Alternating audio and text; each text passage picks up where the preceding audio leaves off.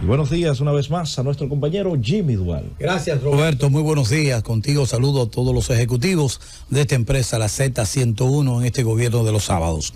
Señores, hay que incentivar la producción nacional para poder evitar el agiotismo y la especulación de los productos que nosotros y nuestro oferta y suelos producen. Digo esto a sazón de que cuando usted va a comprar un producto de marca nacional, lamentablemente lo encuentra con una diferencia de precio de un colmado a otro y de un supermercado a otro. ¿Cómo evitamos esto? Motivando, incentivando la producción en todo el sentido de la palabra. Crear el imperio de la solidaridad con el productor y viceversa. Llegar a acuerdos, porque aquí no es posible, para poner un ejemplo, que donde se produzca habichuela como el Valle de San Juan, en el caso hipotético de San Juan, usted tenga que comprar la habichuela más caro que cuando la compre en la capital o en Aso, en otro lugar del país. Ahí hay un desafine grande en cuanto a los precios se refiere. Pero eso pasa con otros productos.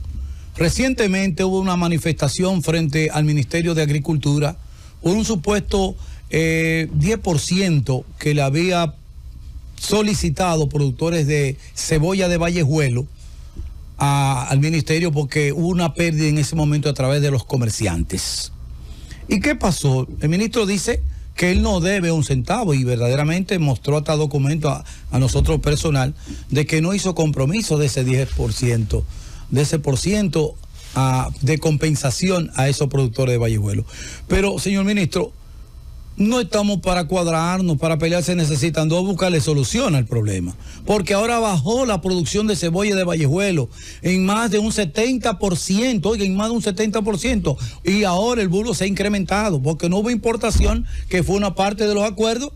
Entonces, eso ha creado que el, la poca cebolla que hay en el mercado ha incrementado su precio. Y ahí viene entonces el desequilibrio en la canasta familiar y sobre todo en el presupuesto de la familia. De manera que arregle eso. Son 205 millones de pesos, negocienlo, hagan acuerdo en ese sentido, si te concedo. Escúchame, hay que agregarle también que tanto en San Juan como en Moca y en muchas provincias de la República Dominicana, por no haber una política 20 años en el aspecto de agricultura, pues eh, tierra con utilidad de siembra están siendo sustituidas por inmobiliaria.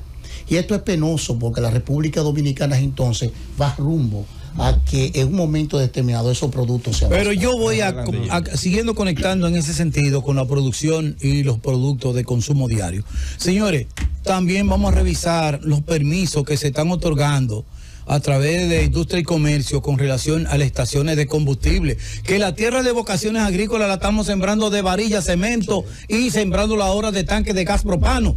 Perdónenme la palabra, si lo puedo decir. Entonces nos vamos, estamos perdiendo la cultura del conuquismo del mismo consumo, porque lo que tú siempre te comes. Adelante, yo, creo que hay, que ser un poquito más juicioso, juicioso, no, más justo, más justo, justo. No, no, no respeto de usted.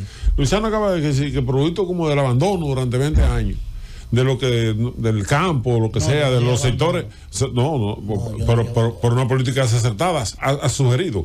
No es así aquí hay una situación que el Estado no ha podido controlar, el gobierno actual, la espiral inflacionaria.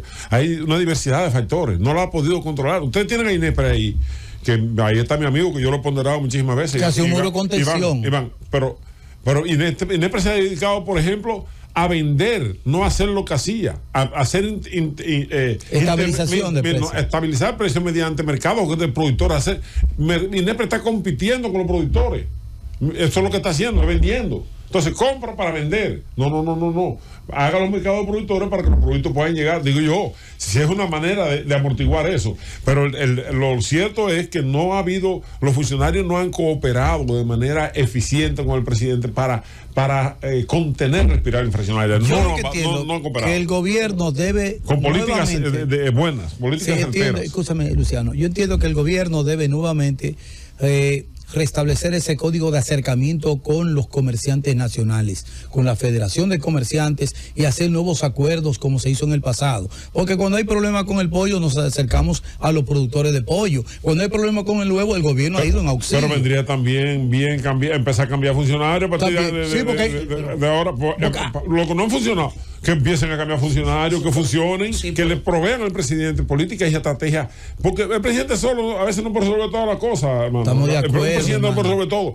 Los, funcionarios tienen que tener las competencias para darle consejos y orientaciones eficaces al presidente. y usted sabe que el problema es que aquí hay muchos funcionarios que no están en lo que tienen que estar. Emerson, cuando me referí, no me intervine en la política del gobierno. Hablé del Estado dominicano que es la continuidad de las políticas que tú puedes aplicar a largo plazo y que se haga la investigación de lo que está sucediendo. Sabes que el brazo este ejecutor aquí es el gobierno. Por eso no ustedes se teniendo la particularidad. no, no, pero tú sabes que el brazo ejecutor de las políticas es el gobierno. Sí, claro. Vamos a permitir que nuestro compañero Jimmy. Perdóneme. No, le agradezco. son aportes valiosos. Los aportes Emerson, gracias. Pero vamos a esperar la conclusión de nuestro compañero. Entonces, mire, yo entiendo que al presidente hay que colaborar con el presidente de sus funcionarios, como bien plantea Emerson. Y, pero sobre todo hay algunos funcionarios que le faltan a su palabra y que son más malos que el agua de la llave. Yo tengo dos casos. Engañando a la gente. Oye, y, yo tengo un caso, una señora en el BNB va a tener que revisarse, eh, un viceministro que le llaman Ney García.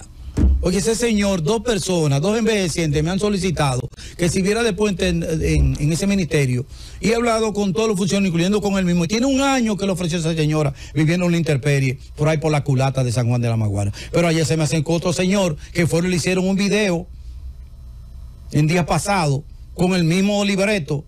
De manera que con un buen ministro como Bonilla, porque es un ministro bien valorado el Ministerio de, de, de la Vivienda. Hay otra ocasión. Hay que reconocer. y el Ministerio de Agricultura, dígame, el Ministerio de Agricultura. no, porque, ¿Qué es lo que hace en San Juan? ¿Cuáles son las quejas que usted ha traído de San Juan? No, Limber ha, ha, respondido. Nosotros no ha sido usted, muy usted trajo muchas quejas aquí de, sí, yo lo de, pero, descuido. Pero, el gobierno le ha dado respuesta ah, bueno. en ese sentido. Ahí hay que reconocerlo. Si no producimos, sigo diciendo. ¿Usted cree que esos productores de moca están contentos? No, claro. Ah, bueno. Bueno, de manera que hay que hay que colaborar con el presidente para bajar la especulación el agotismo de los productos de la canasta diaria. Eso en ese tema. En otro tema, y permítamelo concluirlo, por favor, es el tema haitiano.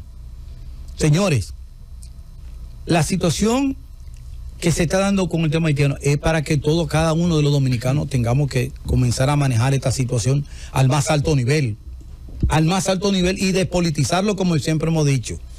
Porque esto es un problema de Estado. Recientemente se estaba hablando de eh, servir de puente para ayuda humanitaria. Se habló del aeropuerto Doctor Joaquín Balaguer y del María Montes de Barahona. Luego el vocero de la presidencia, Homero Figueroa, desmiente que todavía no habían recibido la solicitud para tales fines.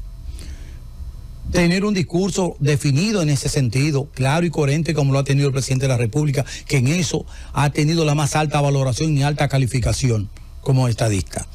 Pero también hay recursos que usted tiene que utilizar del pasado que son males necesarios. ¿Cómo cuáles?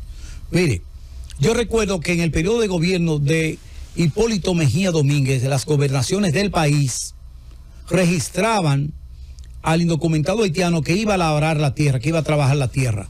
Y entonces ese empleador pagaba un impuesto en la gobernación y se le creaba una ficha a ese eh, haitiano que iba a trabajar en echar el día y cuando pasaba algo en ese, en ese perímetro, en esa zona, iba, se buscaba por la ficha, por el prontuario de ese, de ese ser humano que venía a trabajar la tierra.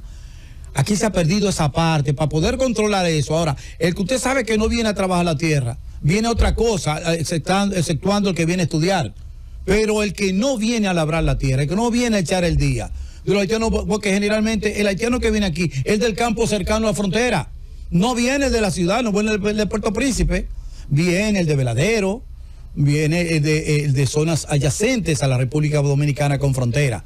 Entonces, definir eso a través de las gobernaciones, un levantamiento de cada empleador a los empleados, a, empleados haitianos que vayan a emplear haitianos tanto en la construcción como en labores agrícolas a través de las gobernaciones, pagando un impuesto y haciéndose responsable para que haya, para que haya un régimen de consecuencia al empleador del indocumentado.